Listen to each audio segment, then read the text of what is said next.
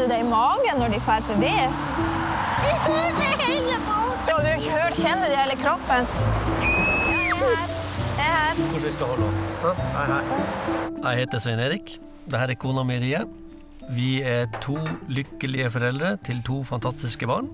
Abelone, fem år, og Edvard, tre år. Abelone er blind. Men hva skal jeg gjøre da? Du kan jo prøve de nye skiene dine. Du prøvde jo her inne i går, du var jo kjempeflink. Du gikk jo helt inn på kjøkkenet med skiene på. Vi alle er jo bærere av defekte gen. Og sjansen for at man da treffer en partner som har det samme defekte genet som du sjøl, er jo egentlig forsvinnende liten. Men det er akkurat det som har skjedd i vårt tilfelle.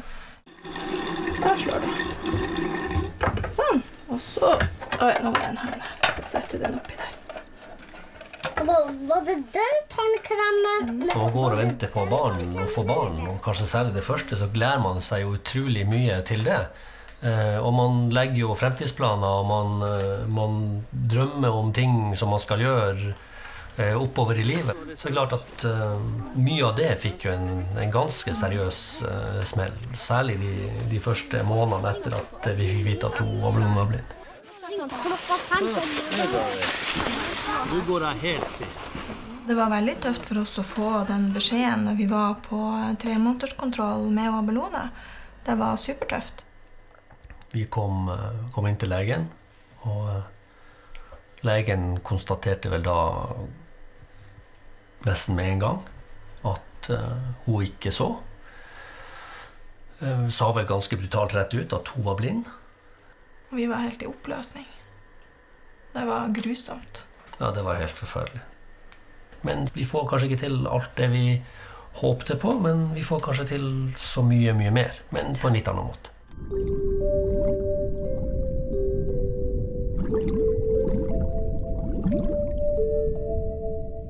Vi vet jo at hun så litt når hun var født, men etter hvert så har hun vel kun det som kalles for litt lyssans.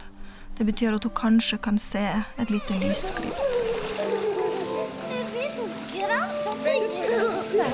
Så kan vi si Å nei, det kiler så stikkete. Prøv å kjenne. Å, så godt. Kjenn hvordan det lukter. Litt lenger fra. Lukter hund. Ja, men det er jo en hund. Har du lyst på hund noen gang?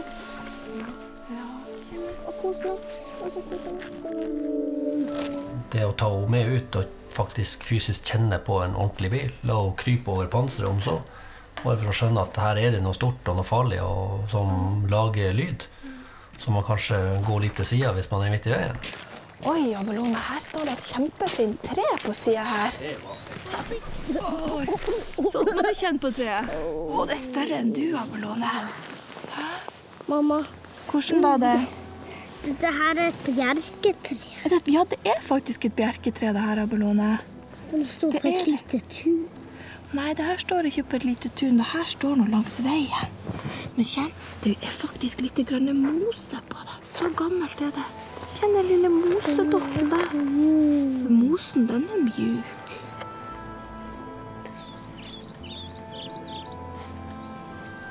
Fuglene er oppe i treet. Ja, hør. Hør mamma? Ja. Tror du at det er dompapen som har kommet tilbake igjen og etter vinterdvalen sin? Ja. Er det fin lyd? Ja.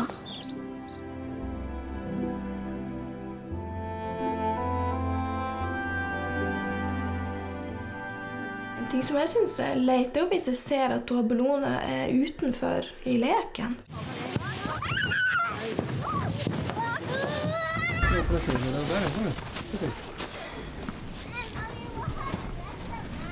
Vi merker jo at hun oppdager at de gjør noe som hun ikke kan være med på.